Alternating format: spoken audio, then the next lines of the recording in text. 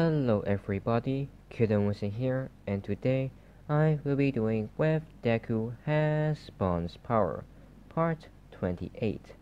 So in the last part, Bakugo was basically saved from the League of Villains. Now, continuing the story, after a couple days of training, it will be time for the Provisional Hero License Exam, with Class 1A having to go to the exam area by bus, and as they get off of the bus, they would still have the same interaction with the other schools. And right before the exam starts, Deku would have told the entire class that everybody there already knows about their quirks and that they should stay together because the other schools would definitely go for them first. But Todoroki, just as the anime, would have left the group. As for Bakugo, he would have tried to leave the group as well, but he will be stopped by Deku. And before he can struggle and yell at Deku for stopping him, it will be time for the exam, with it starting. And just as Deku said, all of the other schools starts by gaining up on Class 1A or UA, them having to throw those balls at Class 1A, them trying to take out UA as fast as they can, which would not have worked since Deku would just use Snatch. Him grabbing all of those balls in midair and throwing them back at, well, them. This distracting the students from the other schools as Class 1A would have rushed in to take them out, which would have been very easy since Deku would have used Snatch again, him taking the energy of everyone there except for Class 1A. This basically leaving them on the ground powerless to do anything, while the other students of Class 1A would have just chucked their balls at them. As over with Todoroki, the same thing in the anime would have happened. You know, those ninjas sneaking up on Todoroki, and, well, not working, as Todoroki would have passed as well. Now, onto the rescue part of the exam it being almost the same as the anime, with the exception being Deku is a lot faster at saving people, since 1. Zero Sign, and 2. Snatch. As after a few minutes, this is when Gang Orca would attack, with Deku just finishing delivering the injured people to, well, safety him seeing Orca arrive, and Todoroki arguing with that Wind guy, and yes, I still don't know his name. As Deku would have rushed in, telling Todoroki to go back and help evacuate the civilians, or well, the injured people, with Deku running in and standing in front of Gang Orca's, well, gang. Them firing their fake guns at Deku, which Deku just let the bullets hit him, and beating up every single gang member that is in his sight with Courechouse. Him also taking 80% of every single gang member's energy which he knocked out, or well, knocked down, as after like 20 of those gang members he would arrive face to face with Gang Orca. Deku swinging Courechouse towards Gang Orca's head, which Gang Orca would have catch, him grabbing Deku by his neck and throwing Courechouse aside, him lifting Deku up towards, well, his head as he tries to knock Deku out with his quirk. But before Gang Orca can use it, Deku would have transferred all of his energy into his right arm. And by energy, I mean the energy he stole or well, taken. him smashing his right arm into Gang Orca's face as hard as he can, which would have sent Gang Orca flying back.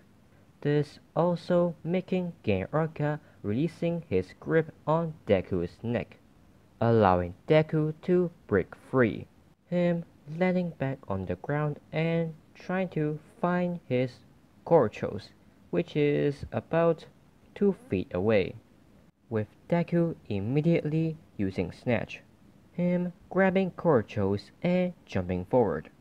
And as he was in mid-air, he would have used Vanishing Kill, Deku extending Courechouse and swinging it at Gang Orca, which Gang Orca would have used his quirk to block the attack, him deflecting the attack as Deku would have again landing back onto the ground and using Physical Hunt, him taking Gang Orca's energy, this making Gang Orca go on one knee. But whenever Deku was about to smash Gang Orca to the ground, this is when Gang Orca's gang members would have interrupted them firing their fake guns at Deku. But these fake guns are different since they do not shoot out rubber bullets, they shoot out cement. Deku being caught off guard he would have been shot in the back. Him being confused since that didn't felt like a bullet. Also, his back is getting heavier. Him turning around to get shot in the stomach. Him looking down to see cement, as he would have been even more confused. Him looking back up to see that he is surrounded by Gang Orca's gang members, with them firing more and more cement at Deku. Deku trying to dodge out of the way, but before he can do that, this is when he would have looked down again. Him seeing that his legs are in cement as well. And while Deku was being bombarded by cement, Gang Orca would have gotten back up, him grabbing Deku by his neck again and using his quirk. This sent Deku flying back. Deku being annoyed, he would have gotten back up. He would have just said, You guys are so dead. Him using Snatch again to grab Courechouse. After he got Courechouse, he would immediately disappear, only to reappear again in front of one of those gang members. Him punching the gang member in the face and grabbing his gun with Deku aiming towards the other gang members, him firing the gun as they would have been encased in cement as well. And while he was firing at the other gang members, he would have taken them out with his Courechouse, while again taking 80% of their energy. This making the other gang members fall onto the ground exhausted and not being able to interrupt the fight again.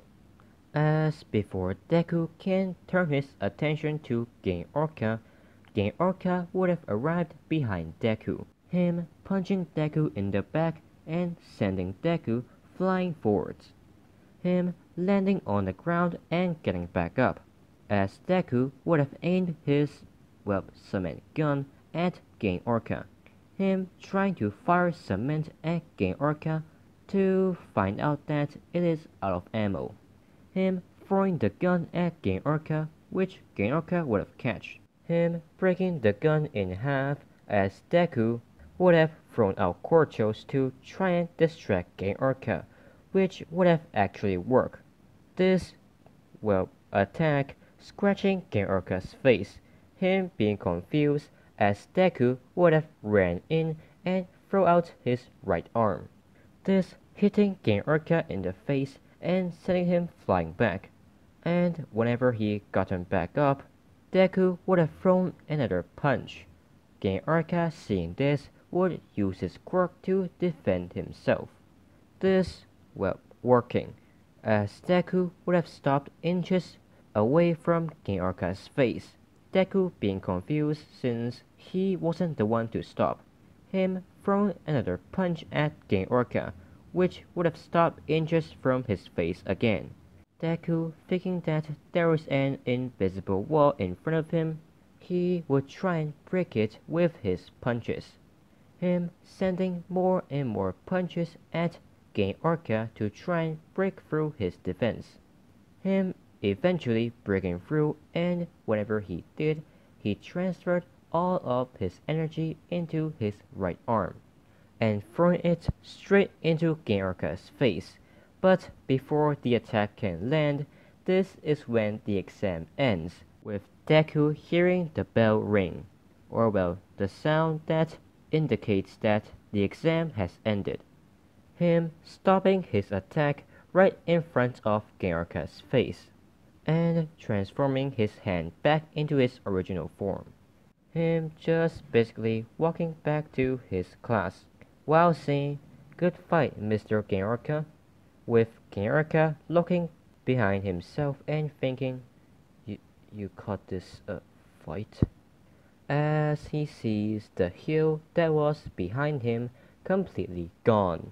Now the rest would have been the same, except that both Bakugo and Todoroki would have passed the exam, since Bakugo is friendlier than his canon counterpart, and Todoroki would have failed the exam if Deku didn't stop him from arguing with that Win guy. And yes, yes, I still don't know his name. And that will be the end of this video. I hope you guys enjoyed. If you did, please like, comment, and subscribe. That will be amazing, and I'll see you guys in the next video. Bye!